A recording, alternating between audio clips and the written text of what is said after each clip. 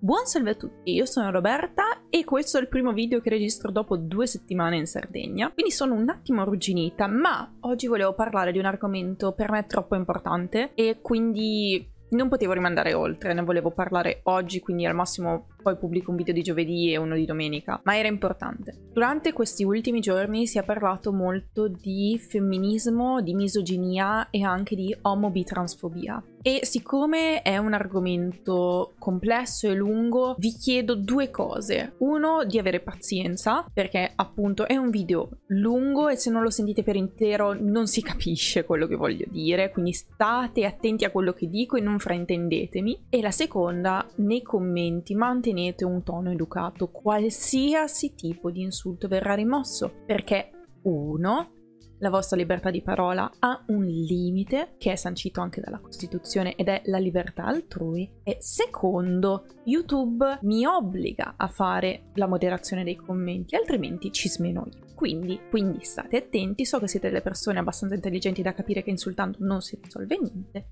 e iniziamo col video. Tutto partito da un tweet di Barbie Xanax che potete vedere a schermo. Questo tweet qua, questo tweet in sé per sé non aveva un intento cattivo. Infatti poi Barbie Xanax ha dovuto spiegarlo e l'intento non era male, nel senso che cosa vuol dire? Marta semplicemente voleva far risaltare come tantissime persone sui social descrivano il mondo reale come qualcosa di estremamente pericoloso in cui rischi da un momento all'altro di morire. Ed è così, da un certo punto di vista, Dall'altro punto di vista, crearsi questa paura, che ripeto è fondata, non ti aiuta a vivere. Questo era il concetto che poteva essere buono. Ma l'ultima frase che dà delle psicotiche alle persone che la vivono così è non solo fuorviante, ma anche maleducata nei confronto del lettore o di quelle persone lì.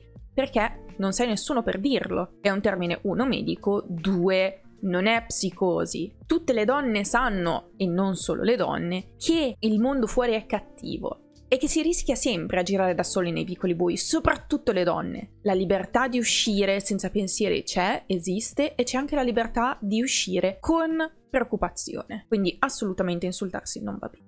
Ovviamente su Twitter si è generato un polverone che è nettamente peggiorato quando Valentina Nappi, ovvero la famosa pornostar, si è messa in mezzo. Devo dire che Valentina Nappi ha questo fare da troll, quindi dice le cose che secondo spero, spero secondo me non pensa veramente, se le pensa è grave. E il problema principale è che c'è una sfilza di uomini nei suoi commenti che però a quelle parole ci credono davvero e le sostengono e dicono se anche una donna come Valentina Nappi lo dice, vuol dire che le altre ragazze non hanno capito nulla ed è veramente problematico. Vi lascio i tweet in sovraimpressione, sono veramente problematici, non so neanche da dove iniziare l'analisi. Vi lascio a voi le vostre conclusioni. Credo che la parte peggiore sia quando dice che una persona che si sta masturbando in treno davanti a te, rispondendo quindi a una vittima di molestia insultandola, sia la cosa peggiore perché dare la colpa a una vittima di molestia che è un reato riconosciuto dalla Costituzione, dal codice penale, fuori di testa perché stai uno giustificando un reato, due stai dando la colpa alla vittima. Veramente non c'è fine al peggio in questi tweet. E quindi già il femminismo in questi giorni ci ha dato del suo, perché era un argomento hot. Ma poi è saltato fuori un fatto di cronaca particolarmente grave in cui il giornalismo ha dato del suo peggio veramente. Ognuno ha dato del suo peggio in queste settimane. Avrete probabilmente sentito parlare di Maria Paola e Ciro, una coppia che semplicemente stava passeggiando sul suo scooter che è stata inseguita dal fidanzato di Maria Paola che ha speronato la coppia facendola cadere dallo scooter e Maria Paola è tragicamente morta. Perché il fratello di questa ragazza è andato a speronarle causando la morte della sorella? Perché Ciro è un uomo trans, quindi è nato donna. E sostanzialmente il fratello di Maria Paola ha in sé un grado di misoginia e di transfobia veramente assurdo. Tutta la famiglia della ragazza dice e pensa che Ciro sia una donna, infatti viene definita Maria Paola come una ragazza omosessuale che sta con una femmina e secondo la famiglia è sbagliato che due femmine stiano assieme, rivelando quindi un'omotransfobia veramente senza fondo. E in particolare il fratello è veramente assurdo perché lui pensa di avere il potere sulla vita della sorella, di poter decidere lui. Lui nelle interviste ha dichiarato che non voleva ucciderla, voleva semplicemente darle una lezione. Ma chi sei tu per farlo? Questa ragazza era maggiorenne, fa quello che vuole, sta con chi vuole. Chi sei tu per decidere che lei non deve farlo? O pensare di doverla rimproverare e punire per questo? È una persona adulta, tu non hai il minimo potere su di lei. E questa cosa deriva dalla cultura patriarcale, perché l'uomo, il padre, il fratello solitamente, pensavano di avere il potere sulla famiglia e lo avevano effettivamente in quel tempo. Ma ora siamo nel 2020. Esiste l'egualitarismo di genere, almeno su carta. Quindi tu cosa stavi pensando in quel momento? Di poter decidere per tua sorella.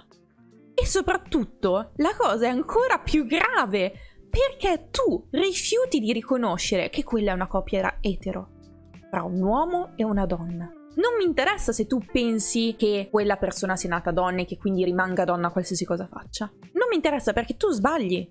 Se ci sono dei dottori, degli psicologi, degli psichiatri che ti dicono il contrario, tu non sei nessuno per andargli contro. A Ciro e a tutti i professionisti che l'hanno seguito. Ma andiamo avanti perché avrei veramente troppi epiteti da tirare dietro a questo personaggio. La cosa peggiore oltre al danno, la beffa. Gran parte dei giornali e dei telegiornali più importanti d'Italia, come per esempio La Repubblica, ha riportato la notizia facendo passare Ciro per una donna, utilizzando il femminile, definendolo la compagna di Maria Paola, che Maria Paola fosse lesbica, che fosse in una relazione omosessuale, oppure definendo Ciro l'amica o peggio ancora l'amica che da qualche tempo si faceva chiamare Ciro. Al telegiornale hanno detto Cira, la compagna di Maria Paola, ed è veramente schifoso. Questo non è giornalismo, questa è pura ignoranza.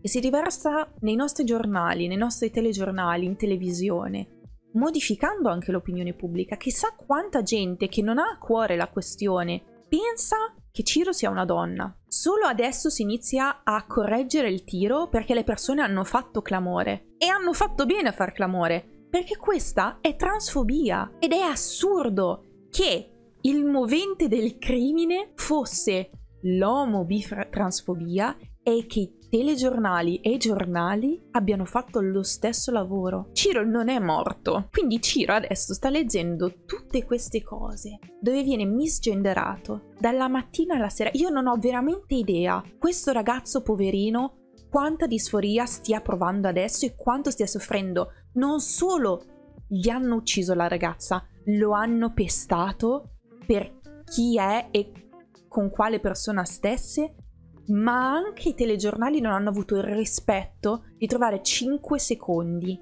e vedere che lui fosse un uomo trans e che quindi adesso sia un uomo. Non hanno avuto il rispetto di trovare un minuto per leggere i propri articoli e trasformare tutte le A in O. In Italia purtroppo siamo ancora troppo ignoranti sul tema, per questo è bene parlare di femminismo, e comunità LGBT.